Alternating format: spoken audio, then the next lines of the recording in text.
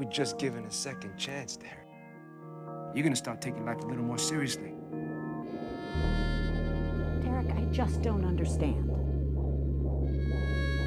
Your grades, your absences, all seem to suggest that you have no interest in graduating. We try to encourage him at home, but Derek seems to be interested in other things. I saw you trying something crazy over there. What was that? 360 flip crooked grind down a handrail. You're living in a fantasy land.